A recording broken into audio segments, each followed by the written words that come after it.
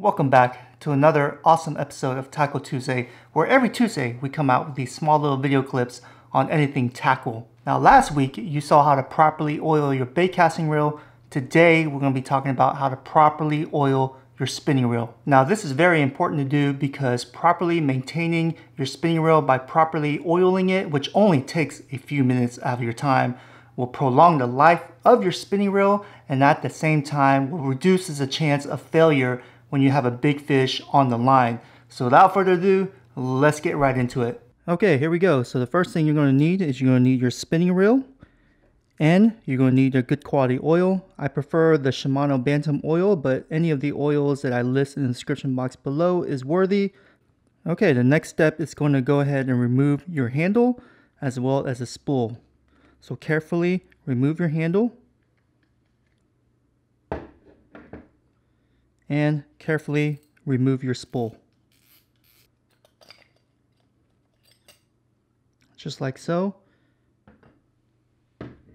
And you have completed the first step. Okay, second step now is to grab your handle and open up your oil and insert one drop right into the knob right here because there's a bearing right there. Just one drop is all you need. And then go ahead and spin it around like that so the oil seeps into the knob bearing just like so. Okay, now that you've completed your oiling of your knob on your handle, the next step is to oil the shaft right here. So grab your oil and just drop one single drop. All you need is one drop. Putting too much can actually damage anti-reverse. That's all you need right there. And then go ahead and spin it around. Let that oil seep up and down that shaft.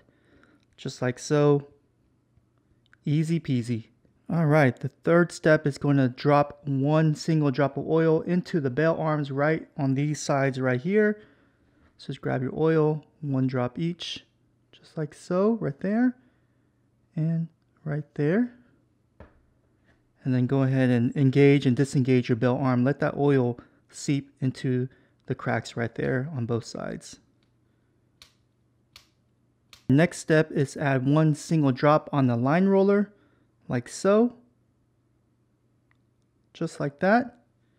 Now you can let the gravity take its place and let the oil seep down naturally because of gravity, or you can grab a small Q-tip like I have here and just distribute that oil all around the roller right here, just like so. Easy. Now we're going to add one drop of oil onto the bearing right here, just like so, like that. And then we're going to go on this side and we are going to unscrew this cap and you're going to add one drop of oil right here too. Just like that.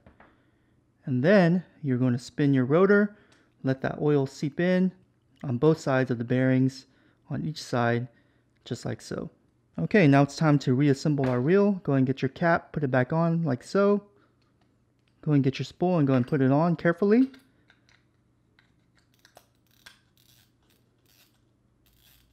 Now go ahead and get your handle and put your handle on.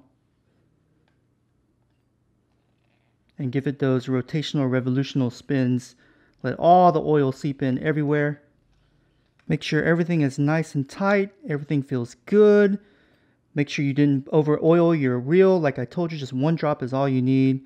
And pretty much that's it. And that's it, ladies and gentlemen. That's all you have to do. It only takes a maximum of five minutes to properly oil your spinning reel.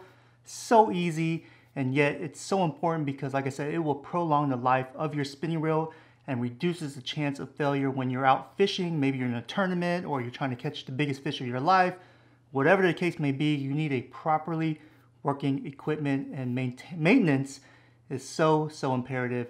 Now, this is not going to replace your big maintenance that you should be doing once a year, twice a year, maybe quarterly, depending on how much you fish take it to an authorized dealer, whether it be Shimano, Daiwa, Abu Garcia, Lew's, 13 Fishing, whoever the case may be, whoever's authorized to fix and replace the parts if needed. But make sure you hit that like button, make sure you comment, let me know what kind of other videos you want to see for Tackle Tuesday.